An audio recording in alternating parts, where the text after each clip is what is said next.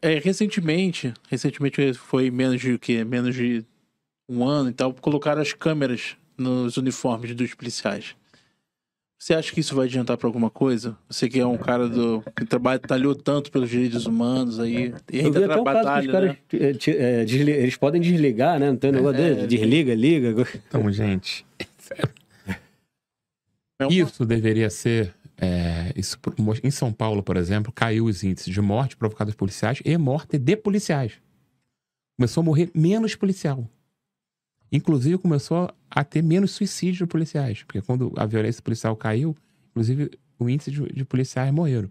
A gente está vendo uma crise muito grande, principalmente na região da Baixada Santista ali, Uhum. em Santos, né? A operação, o pessoal chama Operação Verão, né? Morrendo muitas pessoas, a polícia matando muita gente, né? É, mas isso é uma realidade mais recente, porque os números anteriores né, do último governador de São Paulo era de queda nos índices de criminalidade, nos índices de violência policial e de morte dos policiais. Agora não, agora aumentou.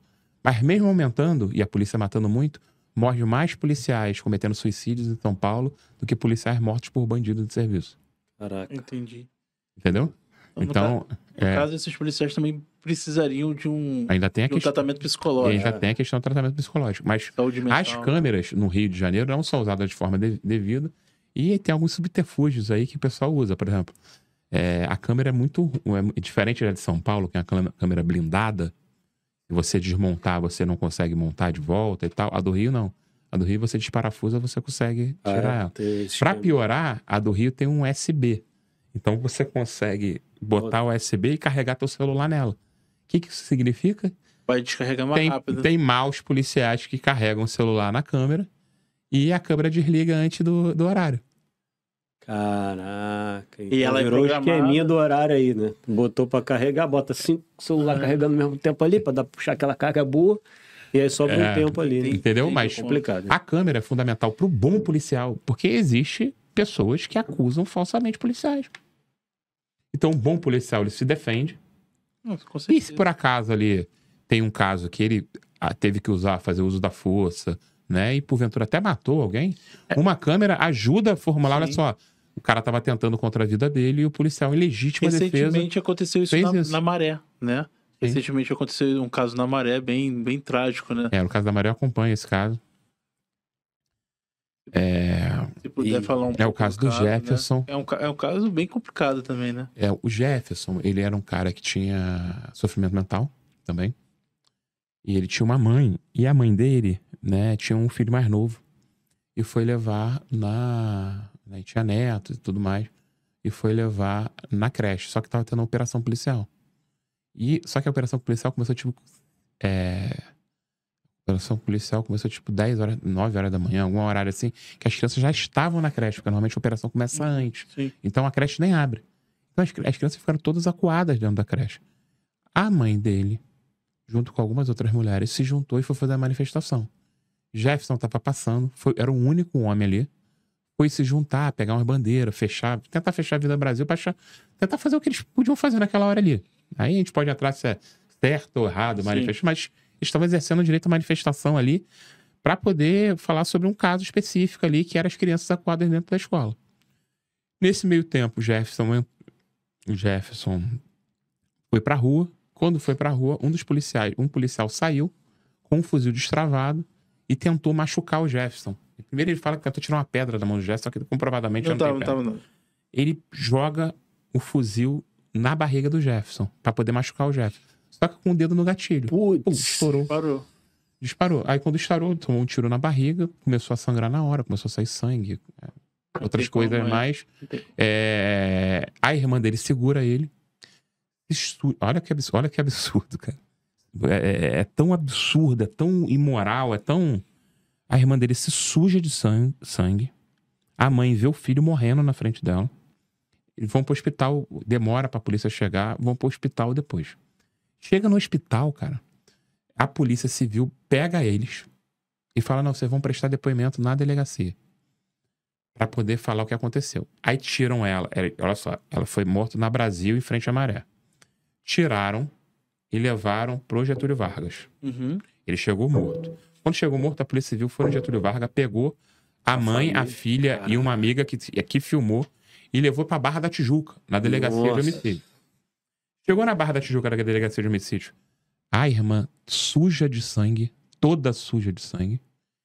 Eu, eu- aí me ligaram, foi essa que é a hora que me ligaram. Eu fui pra lá com a Mariana, né, que é minha, minha sócia, minha colega que trabalha comigo e tal. Parceiro. Saiu da, trabalhava na OAB comigo, saiu da, da OAB também comigo. E a gente chegou lá no- na, na delegacia de homicídios, vimos aquela cena de uma mãe gritando: a culpa foi minha, a culpa foi minha. Eu falei, cara, a culpa não foi da senhora. Mas em choque, totalmente em sim. choque. O filho tinha morrido, tinha cinco horas, seis horas. Não, menos. Menos. Três horas, quatro horas. Em choque, a irmã, mais séria, não tinha caído a ficha ainda, mas toda suja de sangue. E, e eles ficaram. Aí eu fui lá, cara, vamos. Aí eu fui lá. e, olha só, chegou advogados, né? Aí a gente foi falar com o delegado. Ele falou: não, espera aí. Tomamos chá de cadeira de três horas. Nossa. Aí quando chegou o delegado, o delegado falou: não, sabe de uma coisa? A gente não vai ouvir ele, não. É. Porque a, a delegacia da Polícia Civil só investiga homicídio doloso. Homicídio culposo, quando não tem intenção de matar, é ouvido pela, pela, pela própria é, instituição militar, pela própria Polícia Militar. Então o que, que acontece? Eles seguraram, tiraram a mulher do hospital, deix- deram chá de cadeira, cara. Aí falaram. Eu falei, mas olha só, eu acho que quando uma pessoa tá com um fuzil de guerra destravado, com o dedo no gatilho, e vai Isso não é machucar alguém, ela assume o risco de matar. É. assume, Aí o delegado, não, mas ele tem uma pedra na mão. Eu falei, cara, não tem pedra aqui no vídeo. Doutor, eu tô vendo uma pedra. Eu falei, cara, não tem pedra. Ah, mas foi a interpretação do delegado titular e tal. Aí eu fui, a gente foi pra mídia, bateu, bateu, bateu. Aí mudou a interpretação, né? E esse policial agora tá. Chegou a ser preso. É, no mais. vídeo da farda dele, tem o vídeo, né? E Porque não deu tempo pra descarregar. No, É, vídeo, no vídeo da farda dele mostra o que aconteceu, né? Exatamente. E mostra se tinha pedra, mostra se ele atentou. E o Jefferson não atentou contra a vida de ninguém. Caraca. Né? E não atentou. E, e é isso, foi morto. Vai ter. é, Foi próximos- morto por uma bobeira do cara, né? Por uma Tipo, bobeira que- do cara, só- assim. Essa coisa de, da perversidade. Cara, era uma manifestação na rua. É, já tinham jogado spray de pimenta. Né? Vai, tem arma de baixa letalidade, tem arma de choque. Eu tô, falando que não, já não seria o ideal. Seria um policial tentando mediar lá com É, sim. vem pra cá, vamos mediar e tal, vou chamar o comandante. Que é o papel que muitas pessoas que em manifestações fazem. Mas não, ele quis pegar um fuzil e machucar. Porque É. quando ele dá uma pontada, no- numa, não era uma coronhada com a porque não é coronhada, mas tentar dar uma, uma, uma estocada na barriga da pessoa, ele quer machucar uma pessoa que tá manifestando, cara. Mas isso também não pode vir por causa da saúde mental do, daque- do policial em relação São- ao estresse, ao, ao cotidiano Sem di- sem dele, dúvida, o dia a dia dele. os praças da Polícia Militar têm situação extremamente degradante, muitas vezes, né? A gente, pela própria Comissão de Direitos Humanos, quando a gente fazia parte, né, a gente atuou em alguns casos cobrando o Ministério Público e cobrando o governo do Estado que atendesse os policiais, por exemplo. Policial residente, um policial que mora a mais de 100 quilômetros de distância do lugar onde ele trabalha, ele ganha só 100 reais a mais por mês, pra, ganhava, né, até pouco tempo atrás, 100 reais por mês para poder pagar o transporte O deslocamento. né? E não tem obrigatoriedade das empresas de ônibus darem, porque às vezes o ônibus vem cheio Gratuidade. e não pode deixar ir em pé, enfim. É, então, olha, Nossa senhora. aí o policial tem que dormir, aí o policial já já faz dois plantões no Rio, três plantões para poder ficar mais tempo em casa. Aí, aí tem percevejo no colchão do cara. Tipo, é situação degradante, a gente sabe que tem, né? E a gente acha que para a gente mudar a segurança pública, o policial tem que ser tratado como sujeito, ter direito, garantia. Sim. Até a instituição militar, quando o pessoal fala o fim da polícia militar, não significa. O pessoal. Tem algumas pessoas que. Tem algumas pessoas que não têm a informação e tem algumas pessoas que agem de má fé. Né? O fim da polícia militar não significa acabar com a polícia. Com a instituição. Né? Acabar, acabar com a polícia. A instituição poderia acabar, mas acabar com a polícia. É transformar a polícia civil. O policial tem direito. Hoje o policial, por exemplo, o policial quer um aumento. Ele não pode botar um adesivo, aumento já para os policiais. Tô dando um exemplo bobo. O policial civil pode. O policial federal pode. Ah, isso não pode pra polícia, polícia militar? O policial, porque é militar, instituição militar. Ah. Entendeu? Aí o pessoal fala, não, é, é a polícia militar, não sei o quê. A polícia americana toda é civil. A polícia municipal, FBI, o caso caramba, é tudo civil. Né? Em alguns lugares, se eu não me engano, É, a que polícia na particular, Europa, né? na Europa é civil. Aí tem alguns lugares Privada, que né? tem polícia militar, que é, que é o Chile tem polícia militar, a Itália, né? Mas você pega a mais esmagadora maioria dos lugares, a polícia é civil. A polícia londrina, que é a, a escola que todo mundo fala e tal, é uma polícia civil. Então, ter uma polícia civil. Então, é, esse é um debate. que a- Ter uma polícia civil é bom para os agentes, entendeu? Para os agentes. Eu ainda acho que eles ganham muito pouco por que eles fazem, né, cara? Ganha muito pouco, ganha muito pouco. Mas tem um negócio de formação e tal. E tem o fator de alguns policiais que usam a farda para poder cometer crime. Infelizmente. Né? É uma parcela que é a menor da maioria. A maioria não faz isso, só que chama atenção, né? Eu gosto de frisar isso, porque às vezes a gente critica a violência policial, a galera acha que a gente é contra os indivíduos policiais. né? Eu vou dar um exemplo para vocês aqui, falando um pouquinho de política, Uhum. né? Por exemplo, olha só. Quem criou, transformou o, assassina, o assassinato de policiais e serviço em crime hediondo foi Maria do Rosário, que é atacada por fake news direto, aí chamada Maria do Presidiário, etc., que foi ministra dos Direitos Humanos do governo Dilma. Ela criou isso. Quem criou é, a obrigatoriedade de política de saúde mental para policiais foi Marcelo Freixo, que é defensor de direitos humanos, a gente fala que é defensor de bandido, né? Teve uma vez, é, não quero falar muito desse sujeito não, porque mas só para só exemplificar Uhum. essa questão dessa dicotomia de direitos humanos contra policial. E é mentira isso, né?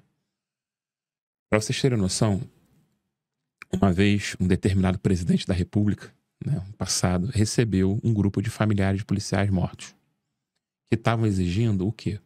Estavam exigindo que uma pensão, uma lei nacional que criasse um pensionamento para familiares de policiais mortos. Aqui no Rio, a situação já foi muito ruim. Eu posso até falar depois sobre isso.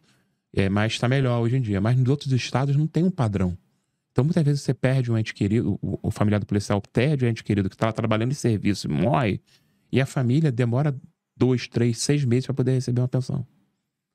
E não tem uma indenização, e não tem um padrão de indenização. Então, esses familiares foram pedir para esse, esse ex-presidente que fala que é defensor de policial. Aí, esse ex-presidente que fala que é defensor de policial recebeu essa família e falou o seguinte: gente, olha só. Eu defendo que. Eu não quero pensão, não. Eu acho que os policiais que sobreviveram, os colegas, podiam fazer uma vaquinha para ajudar os policiais. É só, é só você botar. Policiais mortos, vaquinha Bolsonaro no Google. É só você botar. Não é bagulho que eu tô Quando ele inventando. começou a falar, achei que ele ia imitar ele. Eu acho É, tá ok. é tão grave que eu não consigo nem evitar, porque eu puto parada. Mas esse mesmo presidente, que fala que é defesa policial, queria que fazer excludente de licitude, que possibilitaria o policial matar em, em várias situações. Porque o policial pode matar em legítima defesa, Sim. né? Ele pode matar. É, mas ele queria aumentar isso. Se o policial tivesse nervoso, tivesse estressado, etc. E isso seria uma legítima le- defesa pra ele. Não, não seria nem a legítima defesa. Seria, uma, seria como se fosse uma legítima defesa. Né? Porque a legítima defesa não, não precisaria necessariamente Sim, alguém sim. atentar contra a vida dele. Então, você olha isso. Esse cara, ele é defensor de violência policial. Ele não é defensor do policial ser humano. Policial sujeito, policial pai, filho. Ele é... Entende? E essa que é a grande questão nessa temática. Ser contra a violência policial não significa ser contra os policiais. Muito pelo contrário. Porque a violência policial, inclusive, expõe os policiais Sim. a risco. Caraca, muito. Tô falando assim, cara, é, é abaixar a cabeça e infelizmente fazer É, sinal de negação. Mas assim, também tem a questão, você tava falando assim, ah, é, a grande maioria dos policiais não são corruptos, não- etc. Mas tem aquela parcela que acaba que ela, ela tem que se calar, porque tipo, eu tenho meu emprego, Sim. eu tô ali. E aí fica naquele pensamento, cara, eu não posso denunciar, pô, o meu chefe, ou não sei o que, cara, o que, que vai se acontecer né? comigo? Porque- Po- Podem me matar, sabe? O Por que cara, acontece suicídios? é, exato. O cara fica doido, não sabe o que fazer, né? E, e isso é, pô. E essa situação, cara, é como resolver isso? Tipo, tem que ir lá em cima, tem que começar a descobrir as coisas e. É, mas é muito difícil, né? É muito na, difícil. na atual situação, né? Se ficar, o bicho pega, assim. É. Pegar o- é. é.